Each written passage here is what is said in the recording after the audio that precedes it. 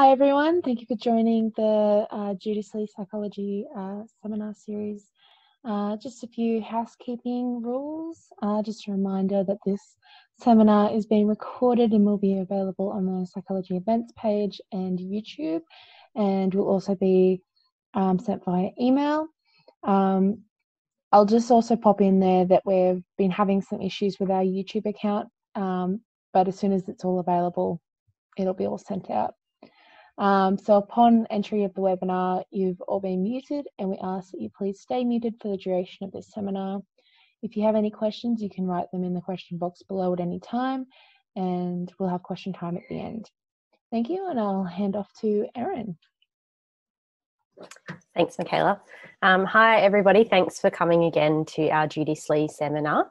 Um, so I'll start with an acknowledgement of country. So we acknowledge the Ngunnawal people who are the traditional custodians of the land where the ANU sits um, and pay our respects to elders past, present and emerging and extend that respect to any Aboriginal and Torres Strait Islander people that are joining us today. So I also just wanted to flag something um, with everybody that um, I'm looking for someone to take over the um, convener role for these seminars because I've switched to part time with my PhD now. So any students that would be interested in um, in doing that, it basically just involves organising the speakers um, for each week, and you you do that at the start of the semester. Um, supervisors if you want to have a chat with your students about that and see whether that's something that they might be interested in. Um, it can be any year student, um, probably a, a, second year or above might be best just because they'll know more people around the department. But anyone who's keen to take it on um, can send me an email and let me know. Um, so we will have a short seminar again today. Our second presenter had to withdraw, unfortunately. So um, we will just have Nicole Tan presenting today. So Nicole's a first year PhD student um, who completed her honours last year. Um, her PhD research looks at the belief updating system in anxious individuals using Bayesian computational approaches. Um, so her talk today is about using a Bayesian graphical model to understand the associations between the jumping to conclusions cognitive bias and anxiety. Um, so I'll let Nicole take it away um, and we'll have some time for questions at the end. Thanks, Irene. So let me just share my screen. Just one second.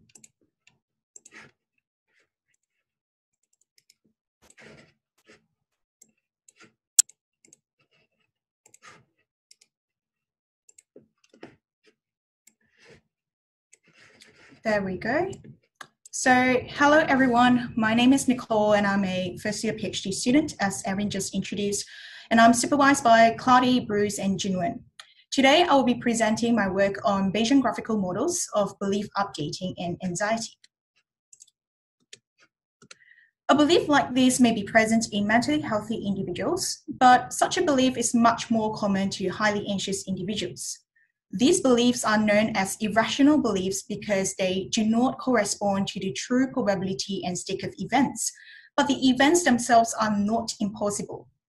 When presented with evidence that contradicts their irrational beliefs, the anxious individuals do not tend to revise their beliefs to match the actual state of the world. This tendency has been widely discussed in several cognitive models of anxiety, and the common theme surrounding these models is that Irrational beliefs stem from a heightened perception towards threat-related information. Despite the rich literature, there seems to be still a lack of systematic research on why anxious individuals are less likely to be able to update their rigid beliefs and what exactly contributes to that bias. So that leads to my PhD research question. The first intuition is that anxious individuals may have a different belief updating system compared to non-clinically anxious individuals. Before I jump to my research methods, I think it is important to briefly talk about some rational models of belief updating. Throughout my research search, literature search so far, I found two rational models, namely the AGM model and the Bayesian model. The AGM model is named after its creators, Alchourrón, Gardenfors, and Makinson. This model is mainly applied in artificial intelligence. This model also assumes that belief is a set of sentences that follow some logical consequences. The emphasis is that belief revision follows minimal changes and therefore results in minimal loss of information. So this model outlines the processes in belief revision, that is how agents make use of new information to restructure their belief sets in order to maintain a consistency in their belief system.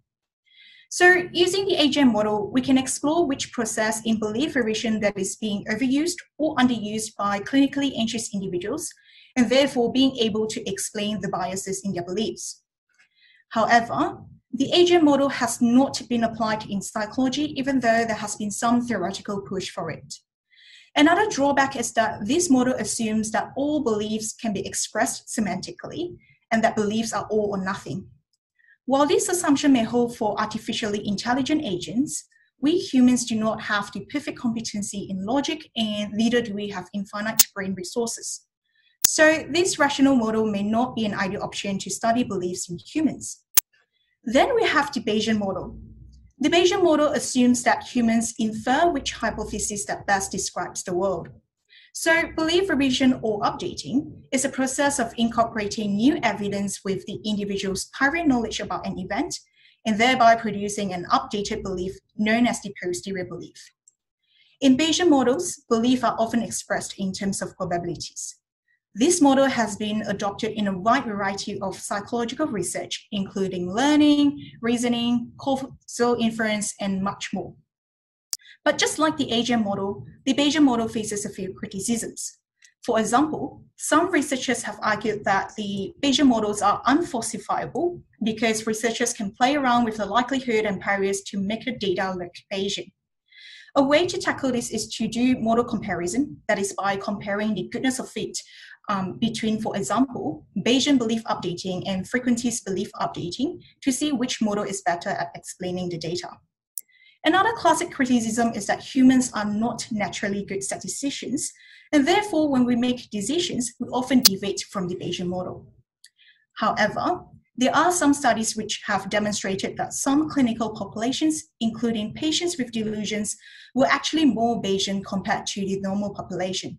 In fact, the healthy controls were considered overcautious in their reasoning and belief updating. While this model has been heavily adopted in the research of delusion, there has been relatively little application for the anxiety population. So this is why I have chosen to use the Bayesian model as a rational belief updating framework in my research. So in terms of measuring belief updating, I will be using a classic paradigm known as the beads task. In this task, participants are shown two jars. For example, jar A contains 85 red beads and 15 blue beads, and jar B would have the reverse proportion of beads. There have been a few variants of the beads ratio in literature, as shown in this table. So during the task, participants are told that the experimenter will choose one of the jars behind a screen so that participants can't see which jar is being chosen. And either jar is likely to be chosen. Then the experimenter will draw a bead out of the chosen jar, and the beads are drawn with replacement. This seemingly random sequence of beads is actually predetermined. So the task of the participants is to determine the source of beads being drawn, so either from jar A or jar B. After each time a single bead is drawn, participants will have to decide whether they want to see more beads or that they have already decided the source of beads. Usually the maximum number of beads that participants can observe is 20 pieces. The common dependent variable measured in this task is the number of beads observed to make a decision or jumping to conclusion bias. So the jumping to conclusion bias is defined as the tendency to decide after seeing two or fewer beads. This reasoning bias has been consistently observed in clinical delusion. Interestingly, um, some researchers have also been able to observe this bias in clinical anxiety, but the findings are inconsistent. This contention stems from a lack of clear mechanism that illustrates how anxiety interacts with the belief updating system. Well, relatively low decision threshold and overweighting of evidence can contribute to this bias. However, as these variables are often difficult to be measured explicitly, they remain relatively unexplored in the anxiety population. Therefore, one of my research goals is to propose a model of belief updating which focuses on the influence of anxiety on both evidence weights and decision threshold. and today I'll be presenting the evidence weights model. Here I propose two versions of the Bayesian graphical model based on the classic beads task. The first version is the simpler probability judgment model, whereby participants report their perceived probability that a given bead sequence comes from one jar rather than the other. The beads with the color that appears most frequently in a given sequence will be referred to as the dominant beads. So the beads with the color that appears least frequently are the secondary beads. In this graphical model and the following one, you will see several types of nodes. So the shaded nodes here are the observed variables, so variables that we can measure in the beads task. And the unshaded nodes here represent unobserved variables. Square nodes like this represent discrete variables, and round nodes like this are continuous variables. Single edge nodes like this are known as the stochastic variables, which are variables assigned with a distribution like this.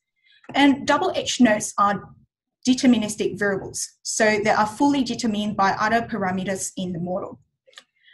In our models, we also make some assumptions about the underlying distributions, and we acknowledge that there are other distributions that may better describe the parameters. And refining the models with more appropriate distributions is currently one of my goals. So suppose evidence weights are computed following the formula here, just like a regression equation. The major component is the influence of anxiety, which is assumed to follow a normal distribution. The average evidence weights for dominant and secondary beads, as notated by AD and AS, are assumed to follow a log normal distribution with a mean of 1. This implies that at the population level, on average, individuals have equal weighting for all beads observed. Any deviations of evidence weights from the population level comes from the influence of anxiety. The node A here represents trait anxiety level, which differs from participant to participant. So evidence weights are assumed to influence participants' probability judgment through their prior and posterior beliefs. In our model, posterior beliefs follow a contemporary version of the Bayes theorem. For example, the posterior beliefs that the beads comes from jar A depends on participants' prior belief, the number of red and blue bead observed for that particular trial, the objective likelihood that beads come from jar A and jar B, that is the known beads ratio for both jars, and the evidence weights assigned to the observed bead. The final observed node in this model is participants' reported probability judgment as notated by PR. PR for now is assumed to follow a normal distribution with mean of normalized posterior beliefs about the source of beads, and also a precision parameter. This is the precision parameter is the inverse of variance. So the bigger the precision value, the smaller the variance. And here is the second version, which is an extended model. Everything remains the same, but instead of reporting perceived probability, participants will report their three choice decision about the source of beads. So their decision could either be that bead sequence comes from jar A, or that it comes from jar B, or that they would like to see more beads before deciding. Participants' posterior beliefs contribute to the accumulation of evidence, which is assumed to be the log of odds that beads come from one jar rather than the other. This accumulation of evidence is compared against participants' information threshold, which we control at the log of Bayes factor of 3. So this means that when participants have observed substantial evidence supporting a hypothesis, they would be able to make a decision. For example, when the accumulated of evidence for jar A exceeds log of 3, participants would decide that the observed bead sequence comes from jar A. The same logic applies to jar B. If the accumulated evidence does not exceed participants' threshold, then participants would request to see more beads until the accumulated evidence exceeds the threshold. So that was my proposal of um, Bayesian graphical models based on the classic beads task which we can use to understand how anxiety influences belief updating through evidence weights. Now I'd like to talk a bit about some of the challenges that I'm facing and also future extension of those models.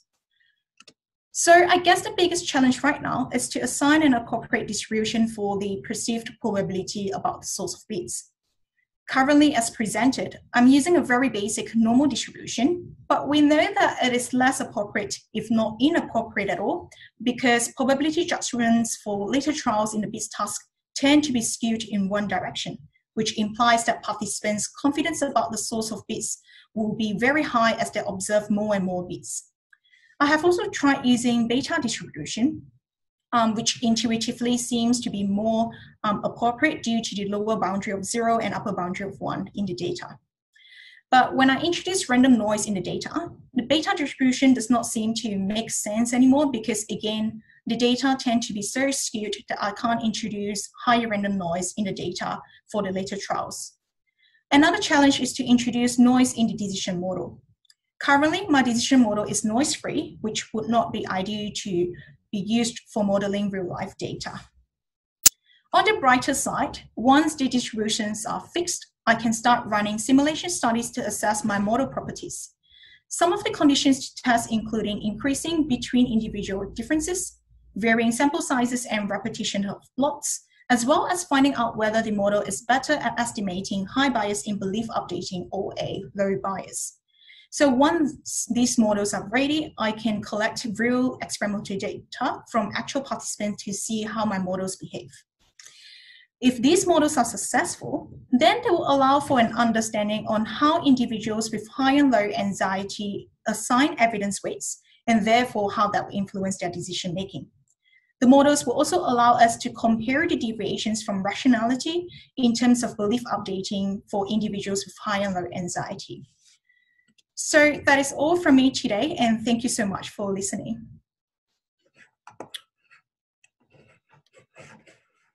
Thanks so much, Nicole. That was a great presentation, um, really clear. And yeah, for people like me who don't understand stats that well, um, I managed to follow along very easily, so that was good. um, for people that have questions for Nicole, um, you can pop them in the the Q and A or the chat, um, and then Nicole can read them um, straight from there. I just see that someone's got their hand up.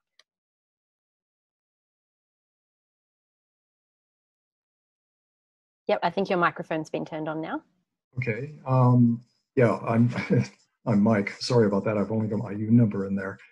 Um, Nicole, I'm a little surprised that if you're having trouble with the beta distribution, you haven't come to consult what, frankly, is one of the world's experts on beta regression. Jay Verkuilen and I introduced this to psychology. Um, and I could actually help you a lot with the with the model that involves the beta distribution and introducing random noise into it. Uh, the beta distribution has a mean and a standard deviation, just like the normal distribution does, but it has to be reparameterized in such a way as to be able to introduce random noise into it. So I, I don't think that's going to be a huge problem for you. We can, we can discuss that. Um, going back to your normal model, probability cannot possibly follow a normal distribution. This is not just a matter of intuition. Normal distributions support is the entire real line. Normal random variables can take negative values, positive values of magnitude you want. Probabilities are stuck between zero and one. That's you can't get away from that. What you could do if you want to use a normal model to compare it with a beta model is you could take the uh, the log of the odds. So take your probability divided by one minus the probability, take the log of that, and that transforms your PR variable onto something that occupies the entire real line, and you can apply a normal distribution to that. And that could be really interesting to do. Uh, it's, it, it, won't require a big uh, modification of your model at all. It just requires that transformation in order to be able to do it.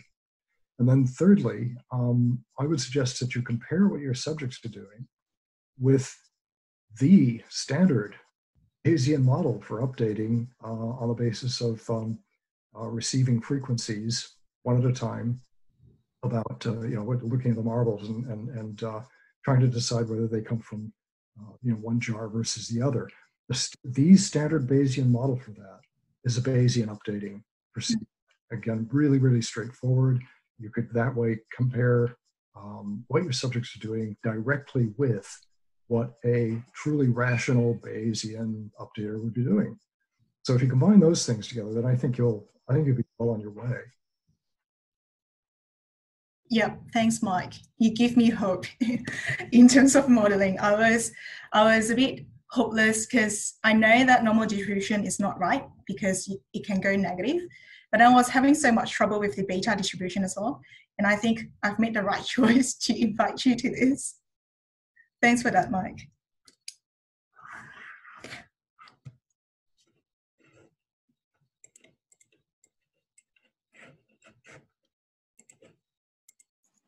So, other questions for Nicole? You can raise your hand so we can turn your microphone on, or you can just put them in the chat for her to read out.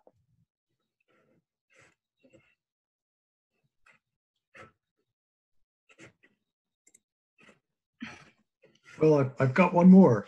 Um, it, when, when you list the um, limitations to the Bayesian updating model, there are a couple of others that would be worth um, worth considering as well because uh, if you've got um, if you've got savvy examiners of your of your PhD thesis, they might raise these. So you're better off raising them first and then kind of getting rid of them to anticipate that. Um, Bayesian updating models have been widely criticized uh, on two grounds, uh, in addition to the ones you've listed. One is that um, a single probability as a degree of belief cannot represent ignorance. Mm. Right. So suppose I'm starting off with, um, you know, with the jars, and let's suppose, again, let's suppose I'm a rational agent, but as a rational agent, I want to express that I have no idea what the probability that this uh, this stuff is going to come from jar A versus jar B is. My justifiable position is that my personal probability is anywhere between zero and one. I have no reason to settle on a particular probability. And in fact, um, as, a, as a rational agent, I would view with alarm anybody who would insist that I should, that I should give precise, precise probability. Give you an example. Um, right now, each of us has a precise weight. Do any of us know what that is? No, we do not. I therefore assume that inside our heads somewhere is a precise degree of belief that we have access to. That just doesn't make sense. Uh, if I think about, you know, how likely do I think it is it's going to rain tomorrow? Oh, between 0.6 and 0.8. I'm not sitting here going 0.73259114 da da da da da, right? So, so that's one quite dominant criticism of Bayesian models is they insist on precise beliefs and have those. Um, the second problem is that let's suppose you're a highly anxious person who believes that if they go out to eat alone, they're going to be people are going to laugh at them and they and they and they'll be regarded as a loser. Suppose they believe that is a certainty. Probability one. Now, as a Bayesian, you can't update from that. You can all the evidence you want, but as a Bayesian, well, you want to shift away from one. Conversely, as a Bayesian, if your prior degree of belief is flat zero, same problem. Updating won't do you any good. You won't shift away from zero. So Bayesian approaches to representing belief cannot deal with certainty. Mm. A person is, is not irrational, according to Bayesian models, if they start off by saying, I'm absolutely certain that when I go out to eat alone, people are going to laugh at me if that's where they are, then then uh, they're perfectly rational and staying there, no matter how much evidence you present them, according to a Bayesian belief view. Now we all know that that um, that's actually not a sensible thing to do. Even if a person declares they're absolutely certain about something, they should still be movable if you present them with enough evidence. But a Bayesian updating procedure does not allow for that. And that's a really crucial flaw.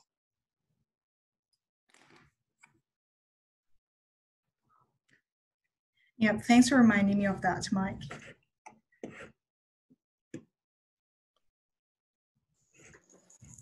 Thanks, Mike, for um, yeah for giving us all of that information. I think it actually really highlights one of the key things that I hope for students to get out of these presentations, which is that they can present the challenges that they're having and, and kind of you know get more information from the the collective mind of, of RSP um, and maybe get to talk to people that they may not otherwise um, get time to chat to or um, just get kind of different opinions from people. And I think that that can be one of the advantages of presenting earlier in your PhD rather than waiting until you've done three studies um, is that you can get some of this guidance um, really early on. So I hope that Nicole's presentation today has given um, some of the earlier PhD students confidence that they can present um, in this setting and um, that it will go well and no one's going to be mean to you um, and that you can get some really useful information from doing that.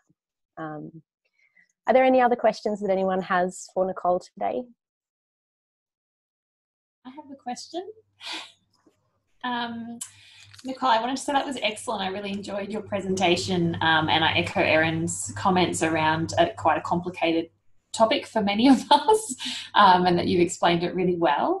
Um, so, my question is not actually about the research itself, but actually if you um, have any advice for PhD students or any other students who um, are facing some statistical complexities and how you've approached that and what you've found helpful in, in learning um, quite complicated models for your research.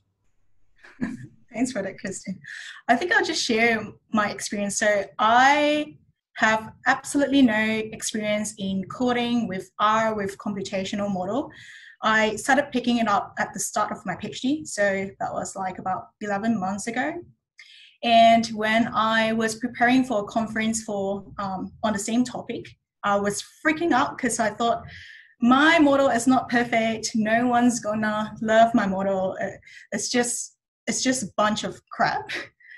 But I guess like you should talk like for those PhD students or my colleagues who are having that kind of um, low confidence and doubting themselves, like should always talk to your supervisors because they are absolutely amazing and lovely.